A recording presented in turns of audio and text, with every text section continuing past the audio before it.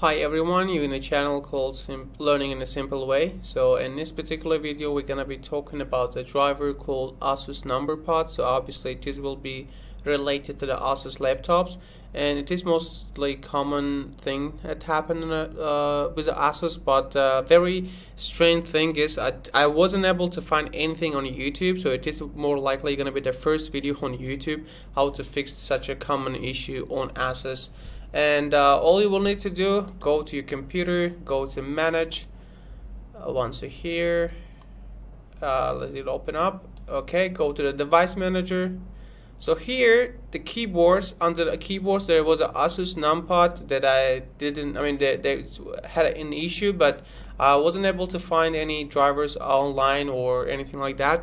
Actually I yeah searched on a Google and this is the way to fixing it. So whenever you see the Asus number NumberPad here all you will need to do just click on the right hand side on it uh, update driver. Once you do you need to uh, just go uh, browse my computer for drivers. So once you do you do not need to put anything here actually. You need to go down. Let me pick from list of available drivers on my computer.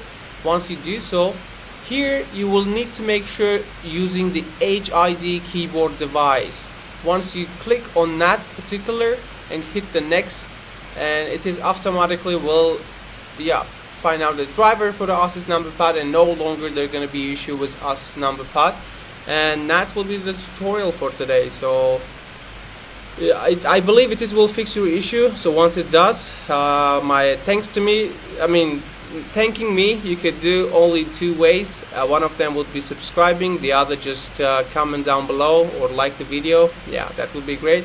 Thank you guys. You have a good one. Bye bye